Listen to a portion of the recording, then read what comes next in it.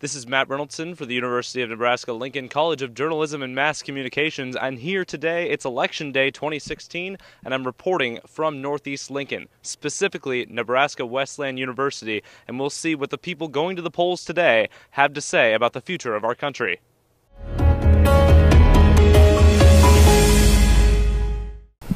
I did vote.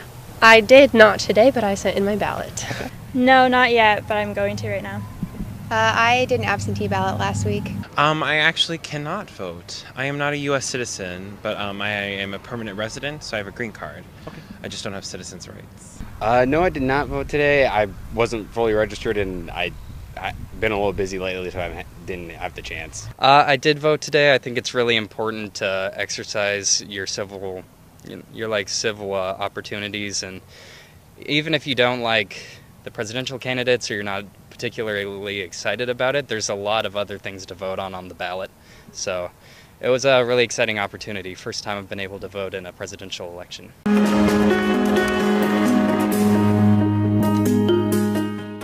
Hopefully forward to a better tomorrow. I don't know. I think we need to start focusing more on like the environment and all the issues surrounding that because that's very important for our futures. Um, I mean, I agree. We both have talked about this before that um, as far as where our finances go in that and like where education is going leaning towards that. Uh, I think if we want to be able to use our resources, that's probably one of the bigger topics that we don't focus on as much.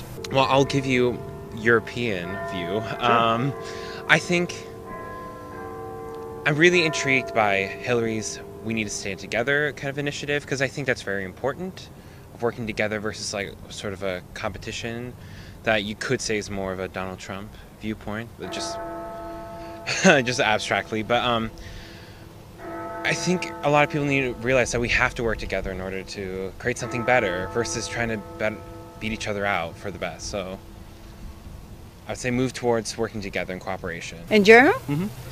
I don't have an answer for that. Right now, I'm very concerned about what's going to happen.